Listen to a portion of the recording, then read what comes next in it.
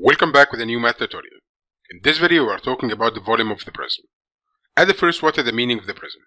The prism is a three-dimensional shape that has two bases are opposite to each other. The two bases are parallel and congruent. Parallel it means they will never intersect. Congruent it means the same size with the same shape. Now we have here the base.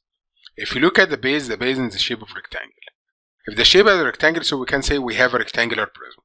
But if the base is a triangle, we can say we have a triangular prism.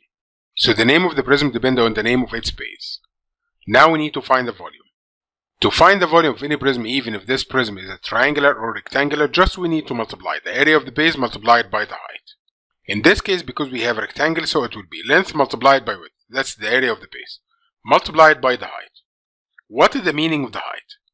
The height is the length of the line segment which is joining between the two parallel bases. So the length of the line segment joining between the two parallel bases is called the height. In this problem, we need to find the volume of each rectangular prism. Number 1. To find the volume, we need to identify the base. At the first, the base that we have here in the shape of rectangle. So we have a rectangular prism. A rectangular prism with dimension 5 and 4. So the remainder now will be the height. It means 3 will be the height. To find the volume at the first, I need to find the area of the base. The area of the base is equal to length multiplied by width, which is 5 times 4 equal to 20. Now we need to find the volume. To find the volume, we just use the area of the base that we find and multiply it by the height, which is 3. So 20 multiplied by 3, you'll find that the answer will be equal to 60. Because we are talking about the volume, it will be equals to cubic units. Again, one more time. If we need to find the volume of any rectangular prism, number 1, we need to identify the base. The base in the shape of rectangle. So the area of the rectangle equals the length multiplied by width, which is 9.5 times 5. By multiplying, you will find that the answer will be equals 47.5 squared unit. Now if we need to find the volume, the volume will be equals the area of the base that we find which is 47.5 multiplied by the height. The height which is the length of the line segment joining between the two parallel bases, so it will be multiplied by 3. The answer will be 142.5 cubed unit. So again one more time, if we need to find the area, it will be squared unit. But if we need to find the volume, it will be cubic unit. By the same way in question number 3, we need to find the volume. So number 1, we need to find the base. That will be the base. The base in the shape of rectangle. The area of the rectangle will be equal length multiplied by width, which is 11 multiplied by 5. 11 times 5, it means the answer will be equals 55 squared inch. Now we need to find the volume. We said the volume will be equal the area of the base that we find, which is 55, multiplied by the length of the height, which is 4.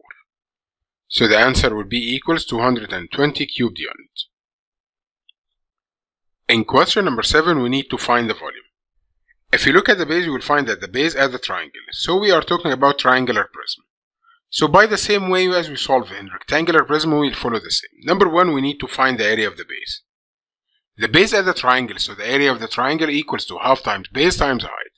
So that's 1 over 2 multiplied by the length of the base, which is 8, multiplied by the length of the height, which is 6. So the answer now would be equals to 24 square feet. Now we need to find the volume. We said the volume will be equal to the area of the base that we find, multiplied by the height, which is 9. By multiplying, you will find that the answer will be equals to 116 cubic units. Again, question number 8. In question number 8, we need to find the volume. As we said before, we need to identify the base. That will be the base, the base of the triangle, so we need to find the area of the triangle. Once we need to find the volume of any prism, number 1, identify the base. Then find the area of the base. The area of the base, the base is a triangle which equals to half multiplied by the length of the base multiplied by the height. The base now equals 4. And the height of the triangle equals 5. By multiplying, you will find that the answer will be equals to 10 squared units. Now we need to find the volume. The volume we just use the area of the base that we find which is 10 multiplied by the length of the height. The height is the length of the line segment joining between the two parallel bases which is 7. By multiplying you will find that the answer will be equal 70 cubed units. In question number 9 by the same way we need to find the volume. The volume will be equals the area of the base multiplied by the height. So we have here the base of the triangle, so we just find the area of the triangle. The area of the triangle would be equals half multiplied by the length of the base multiplied by the height. The length of the base which equal to 7. and the height which is equal to 3. By multiplying you will find that the answer will be equal to 10.5 squared unit. Now we need to find the volume. To find the volume will be equal to the area of the base, which is 10.5, multiplied by the length of the height, which is 6. By multiplying, will find that the answer will be 63 cubic unit. And that's how can we find the volume of the rectangular and triangular prism.